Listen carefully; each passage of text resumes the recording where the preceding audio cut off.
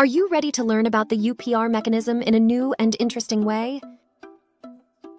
Introducing UPR Info's eHub, the online platform that will help you understand how to use the UPR to improve human rights in your country.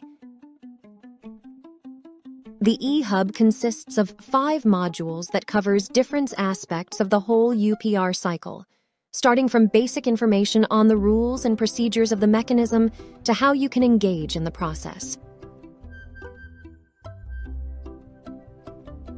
Each module is interactive and participatory, using media tools, community group discussions, and bonus content. You will also learn from real life examples and tools developed by UPR Info based on more than 15 years of experience in supporting civil society, states, national human rights institutions, and other UPR stakeholders. The eHub is more than just a collection of online courses. It is an inclusive community where you can share best practices, learn from your peers, and amplify the impact of your work.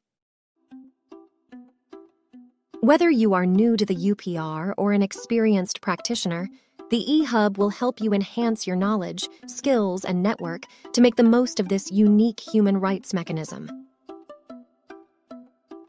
The platform is available in English, French, and Spanish, accessible by your computer and cell phone.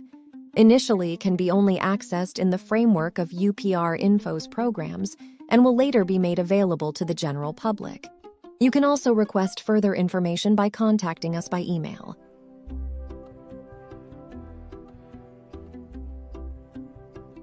Visit our website and discover this new tool to get the spirit of how you can make a difference for human rights in your country and beyond.